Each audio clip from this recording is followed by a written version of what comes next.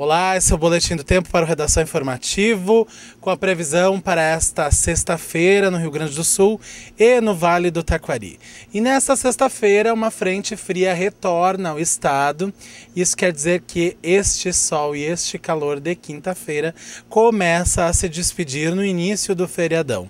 Isso mesmo, a sexta-feira começa com tempo seco em todas as regiões, mas ao longo do dia pode chover a qualquer momento. Aqui no Vale do Taquari, a expectativa é que essa chuva chegue no fim do dia e início da noite. E não está descartada a possibilidade de alguns temporais isolados porque por conta do calor, as temperaturas estão muito altas e essa massa de ar frio, quando se choca com esse calor, a gente sabe, se transforma em granizo e vento e destruição em várias cidades. Não há confirmação de previsão de tempestade, mas é bom ficar de sobreaviso, certo?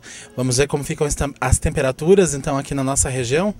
Em Lajeado, a sexta-feira amanhece com sol, a mínima prevista é de 19 graus e a máxima chega aos 30 graus à tarde, pode chover à noite em Lajeado.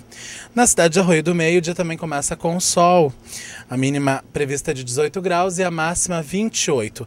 Pode chover já no início da tarde em Arroio do Meio nesta sexta-feira. Este foi então o Boletim do Tempo para o Redação Informativo. Nós voltamos na próxima edição do programa com a previsão completa para o feriadão. Você, claro, não pode perder. Até lá!